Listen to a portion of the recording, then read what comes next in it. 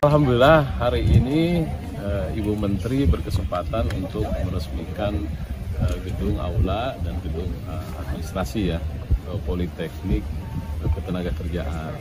Saya sangat mengapresiasi dan berterima kasih kepada seluruh jajaran Politeknik atas berkembangnya proses pendidikan yang ada di Kecamatan Ciracas mudah-mudahan akan semakin baik, semakin maju, menghasilkan tenaga-tenaga SDM yang memang dibutuhkan oleh masyarakat dan pasar kerja. Ya, karena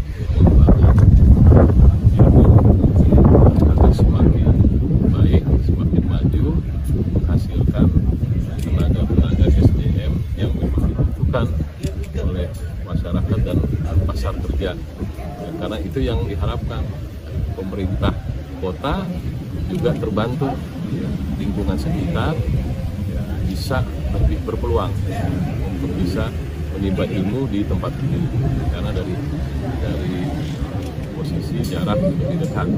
Dan kita berharap tentunya ke depan sejalan dengan program pemerintah daerah juga.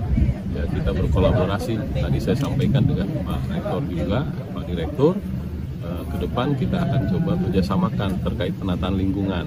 Ya termasuk kan mau dibangun asrama mahasiswa ya dari sisi perizinan tata kota nanti kita support ya, dukung termasuk penataan lingkungan juga. Ya, karena kita juga di belakang ada sedang membangun uh, semacam waduk embung. Nah ini bagaimana aksesnya ini bisa uh, terpadu nanti ber berkolaborasi dengan baik.